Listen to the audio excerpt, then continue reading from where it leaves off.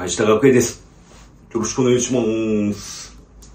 娘がね、この間、4歳になりましてね。ほんで、まあ一番下のね、その次が6歳息子がいてるんですけど、もうすぐ6歳ね。全然言うこと聞かない。それがもうびっくりする。兄貴はね、あの、息子はね、あの、ものすごい言い訳するんだよね、怒っても。なんかこの、おもちゃとかを投げたりしたら、ね、せっかく買ったおもちゃ、バンバンバンバン投げたりとか、する時期やってね、その時に言って、おもちゃ投げたらあかんって、丁寧にやつが壊れるやんか。言ったらもう全然、ん？え？違うよ。おもちゃが、どんどんだよ。ふざけんなよと。見てたし、投げ、でも、なんか、いや、飛んだ、絶対飛んだって言うから、もうまあまあ、私も、まあ、観念して飛んだんかなということです。まあ、ものはね、大事にせなあかんとは言いましたけど、もう飛んだんかな思ってね。そうなん全然ね、違うって言ってくるんです。私はこうやでって、こうこうこうやからこうせなあかんでって言ったら、大体違うって言ってくるんでね、なんか腹立つんですけどね、その視点でも。で、娘がまたね、娘がもっともう一つ言うこと聞かないという。この間、えー、エスカレーターね、エスカレーターこう上にね、乗ってましてね、エスカレーターでこう壁動くからこう触ったりしてね、もう汚いじゃないですか、もうその時点で。もう触りな汚いから。って言ったら、なん、ん？みたいな感じで全然聞いてないふりみたいな。されて二段上行き、上がってね。何すんのかなと思ったらしゃがんでね、床を指でバーチューって触ったんですよ。ほんまもう汚いわと思ってたらもうそれで終わらないんですよ、娘。その手をね、こっち向いて、私の顔見て、舌出して舐めるっていうね。むちゃくちゃ、むちゃくちゃでしょ。絶対お前の言うことなんか聞かへんからっていう宣言されたみたいなね。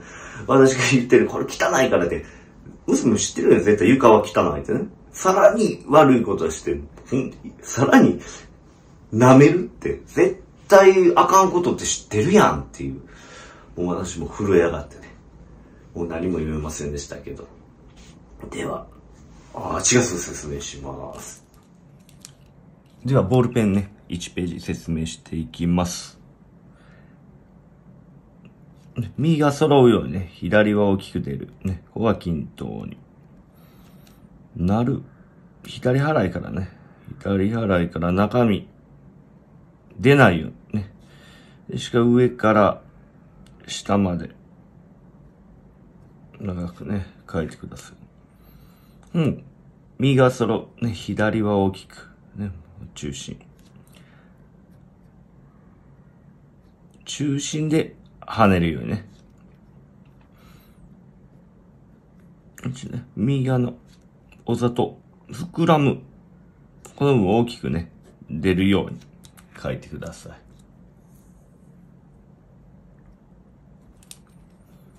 ここに空きできるようにギリギリ乗るんじゃなくて、最後死にを、この終わりから角度ね、変わって跳ねるように。内へ、ね。この時点で後ろに出るように。こうならないね。後ろに必ず出る。しっかり空間。高さね、だいたい揃うように書いてください。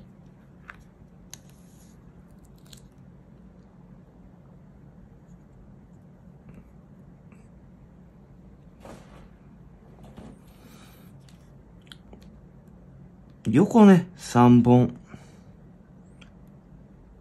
引いてからね、縦書くか、この時点で縦。いくか。どっちかね。書き順としてはどっちか。私はね、こっちの方が書きやすいと思う。最初の方の方が書きやすいとは思います。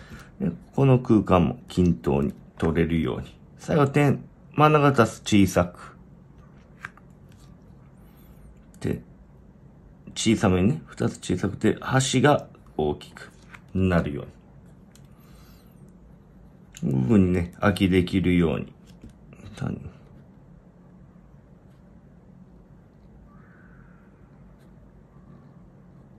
ここに空間ね、できるように。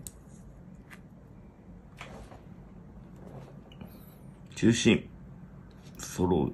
この部分ね、こう狭くなったりしないで、ね、広がっていく。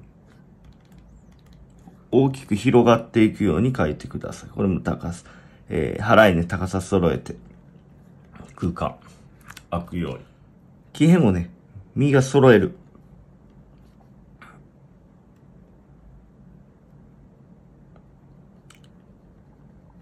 この高さ揃うように。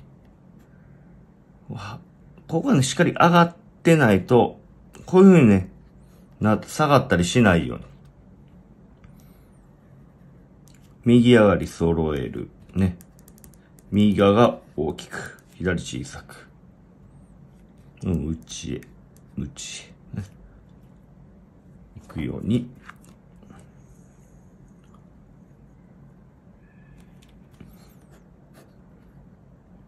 広くね、狭く広く。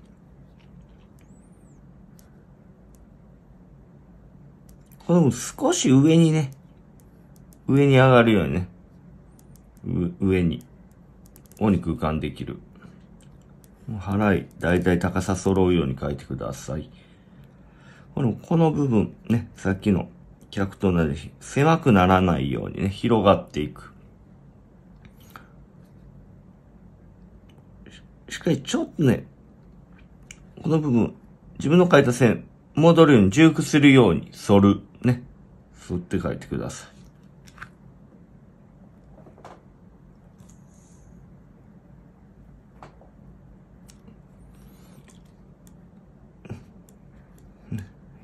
書き順ね。左の払いからね、横を書いて。空間できるように。縦ね、書いて、左、右が少し気持ち大きめに。しっかり、ここ高い位置にね、来るように書いてください。払い大体高さ揃うように、ね、内へ、内へ。ここにも空間できるようにね、書いてください。